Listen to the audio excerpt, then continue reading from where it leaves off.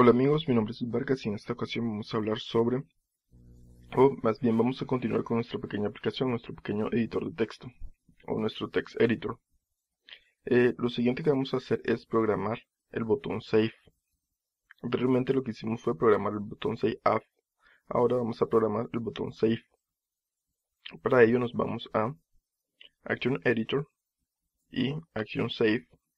Voy a expandir un poco acá para que se observe mejor. Action Save, eh, right click o clic derecho, go to slope, trigger. Una vez acá, lo que haremos será simplemente preguntar si el archivo eh, secure file, este que está acá, secure file, está vacío, entonces Eh, guardaremos como. De lo contrario, simplemente guardaremos. Entonces, si cure file is empty, entonces eh, guardaremos como. Para ello nos vamos a on action save as trigger esto lo que hará simplemente mandará a llamar a la función onActionSaveAs. Un slot puede funcionar como una función también. De lo contrario, entonces, eh, si no está vacío, guardaremos save file. Mandaremos a llamar a esta función y esta hará lo que, eh, lo que hace normalmente y listo. Y damos correr.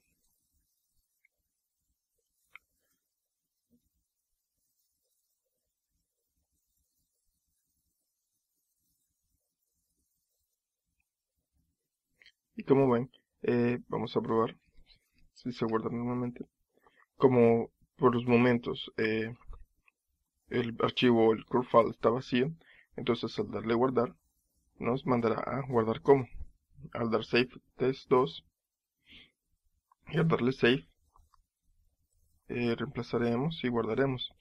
Pero al editar de nuevo y al darle save no nos volverá a preguntar ya que aquí el file está vacío, ya no está vacío. Lo siguiente que debemos hacer es programar el botón open y el botón new. Pero creo que por hoy solo programamos el botón open ya que no tenemos mucho tiempo.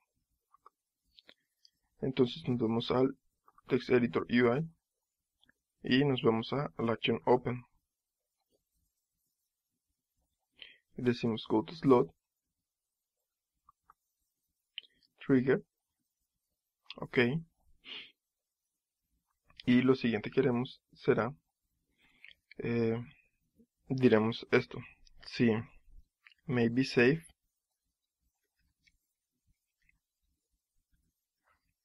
Entonces, eh, escribiremos el archivo. Qstream file name será igual a qfile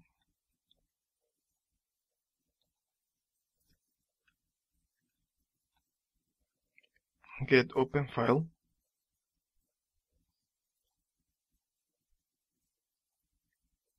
y tendremos como paren este.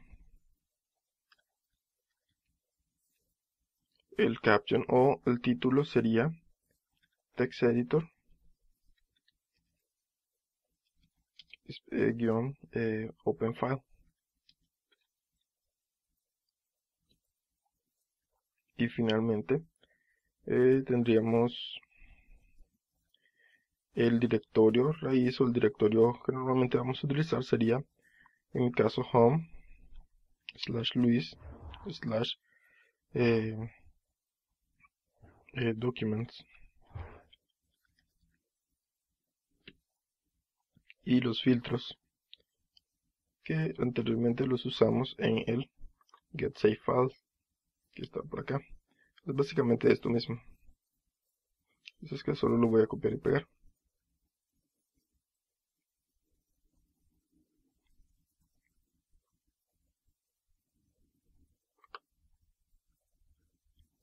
listo. Esto hará que se abra el archivo. Y ahora lo que haremos es preguntar si filename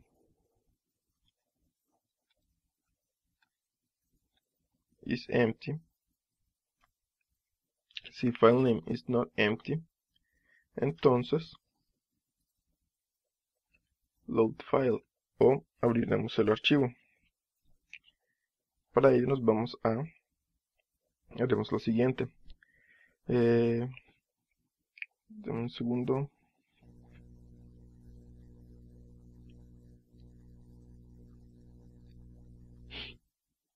Haremos lo siguiente. Eh, vamos a poner acá una llave. Y diremos qfile file file name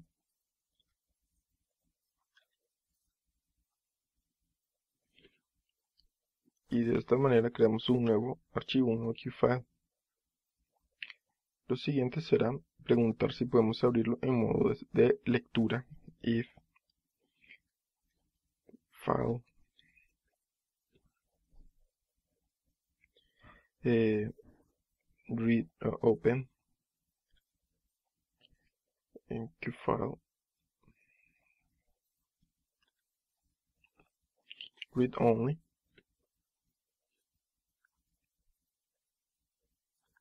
Read on,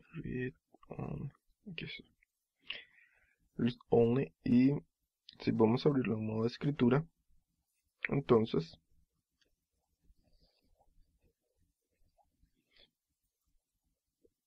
simplemente lo que haremos será que nuestro UI.plainTextEdit sería eh, mm, text contendría el file read all. De esta manera pasaremos todo lo que contenga el archivo a nuestro plain text edit. Si no podemos abrirlo en una escritura, simplemente mandaremos un warning. Y para eso mandamos un message box que nos enviará nuestro warning. Recuerden que este debe ser en minúscula y no en mayúscula, ya que si usan el que es mayúscula es para otra cosa. Eh, el parent sería este. El título sería Application o Text Editor.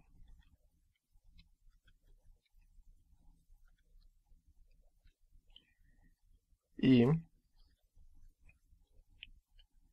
lo que iría en, nuestra, en nuestro texto, vamos a ponerlo translatable o traducible a, cannot read file. Eh, vamos a decir file por ciento 1 que significaría el argumento 1 coma o perdón punto y diríamos error dos puntos por ciento dos. Lo siguiente que haremos será pasar los argumentos argumento 1 sería igual a el file name. Y argumento 2 sería el error el file error string.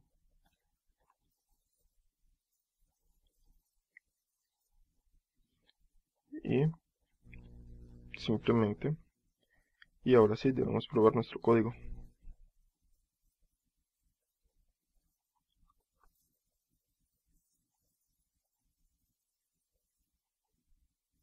Maybe safe was not declared oh sí. No hemos hecho esta función aún. Bueno eh, vamos a crearla en nuestro archivo .h. Y decimos entonces aquí void oh, bool perdón ya que retornará un bool maybe safe nos vamos a la función y presionamos al enter y agregamos la definición en el editor de texto hecho, esto eh, simplemente preguntamos si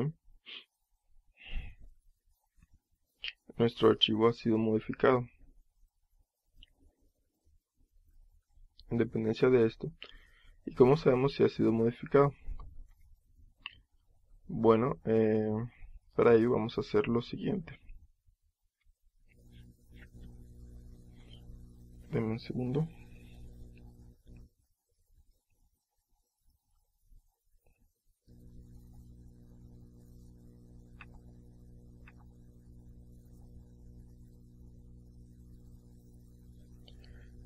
Momentos vamos a preguntar simplemente si nuestro text edit nuestro plain text edit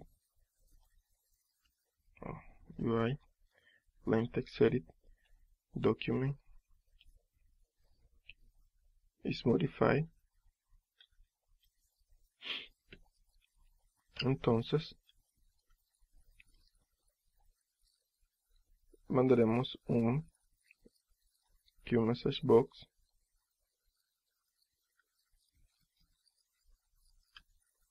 en este caso lo que voy a hacer primero es declarar una variable standard button return igual a QMessageBox eh, warning. This que sería el parent el, el título que sería text editor y el texto que sería el documento has been modified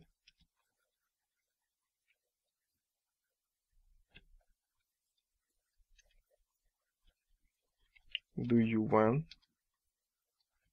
to save your changes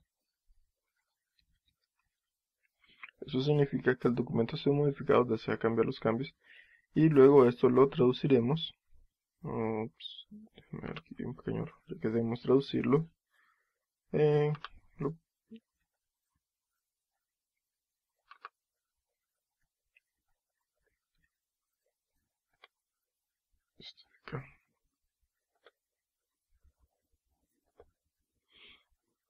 y los botones que retornaremos serán los siguientes. Message box. Save. O tenemos yes.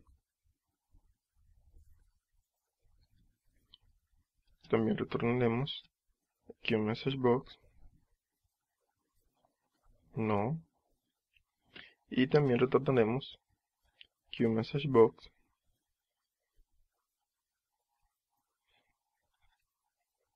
eh, cancel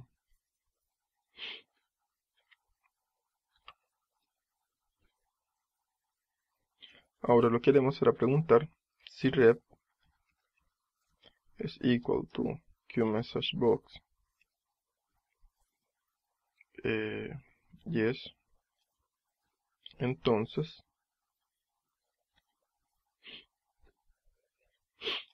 lo que haremos es guardar nuestro archivo save file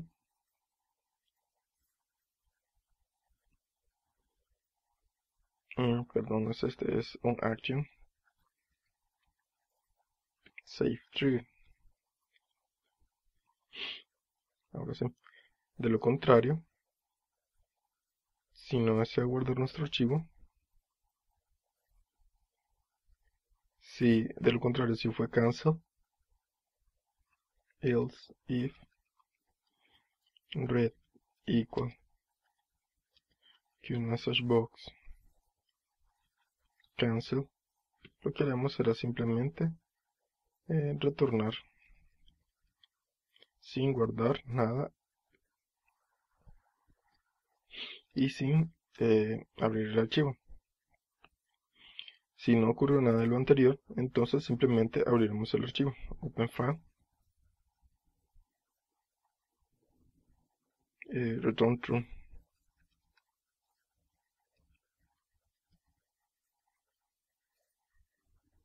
Déjame ver. Sí. aquí sería return false maybe safe hmm.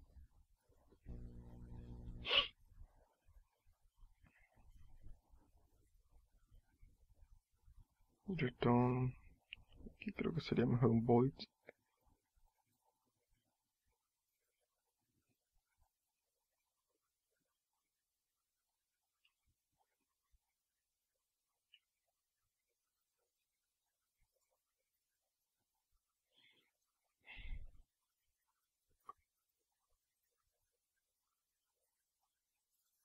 aquí es return true return false.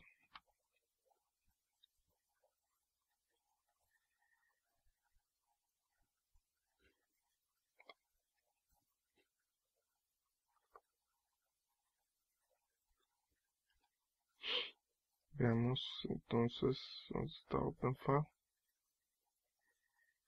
aquí open trigger al abrir nuestro archivo preguntamos si el archivo fue guardado o si el archivo debe ser guardado entonces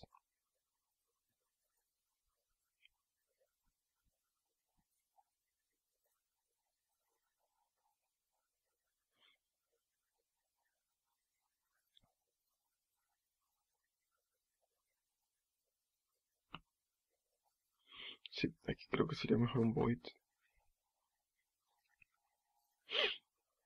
Y presionamos acá para que sea void también.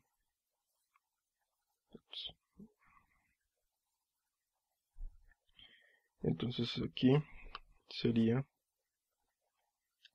on action save trigger. Eh, acá sería return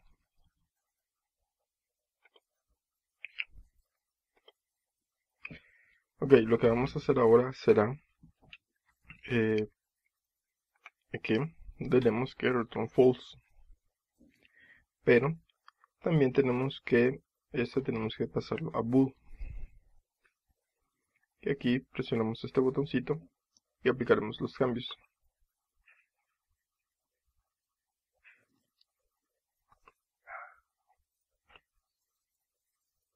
Una vez hecho esto, eh, lo que vamos a hacer ahora es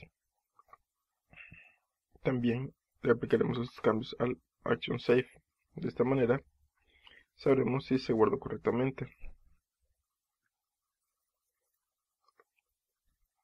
Y también haremos lo mismo para save as.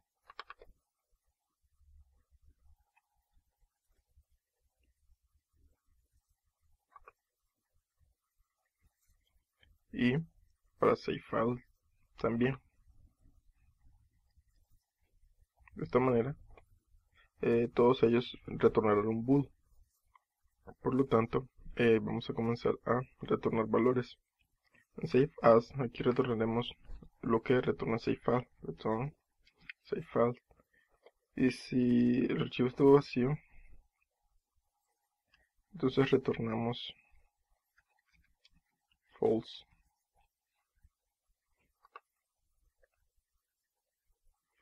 Eh, acá diríamos que si ocurrió esto retornaremos true.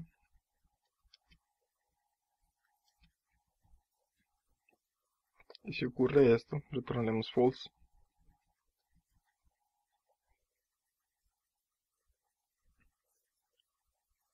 Por lo tanto aquí podemos retornar esto de acá. Return on action. Y acá simplemente retornamos true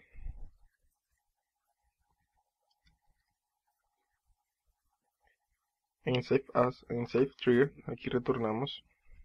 Return. Action save as. Y return save file.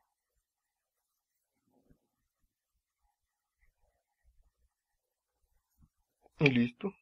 Probemos ahora